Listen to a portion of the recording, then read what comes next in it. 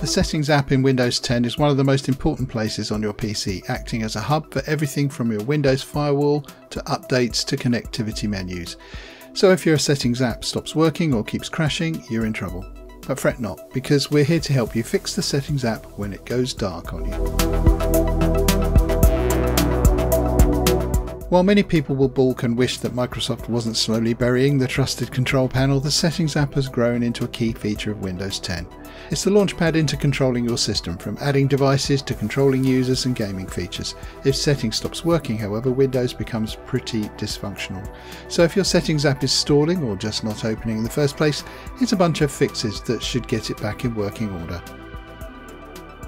A simple solution Sometimes the best solutions are those that seem too simple to be true, but in tech that's often the case. Here's the simple solution. Click the Start button, right click the cog icon that would normally lead to the Settings apps, then click More and App Settings. Finally scroll down in the new window until you see the Reset button, then click Reset. Settings reset, job done, hopefully. Alternative ways to open settings.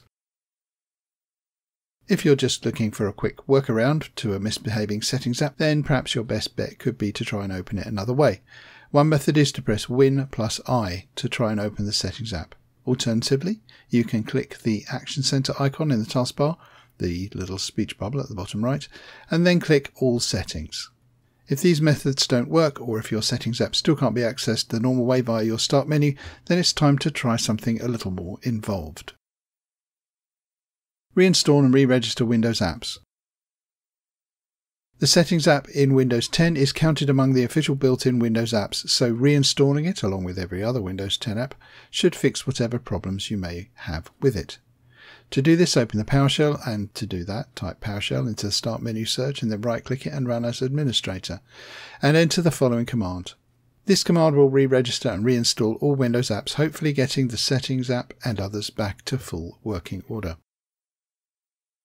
Run an SFC scan. Before trying the more elaborate method of fixing the settings app, there are a couple of fixes that might do the job. Scan your hard drive for errors, go to the Start menu, type CMD, open the command prompt, and then type sfc slash scan now. You may have to open the command prompt as administrator for this to work. That failing, you should try downloading the Windows Update Troubleshooter and see if that helps. Link to instructions in the description. Create a new Windows user. If you still can't open the Settings app, then it's time for a more radical solution, creating a new administrator account and transferring your files over to it. Click the Start menu, type CMD, right-click Command Prompt, and then click Run as Administrator. In the command prompt, type the following command, but with the username and password that you want to create for the new user account. You should see the message the command completed successfully to inform you that the account has been created. Next, go to the control panel, user accounts, user accounts, manage another account.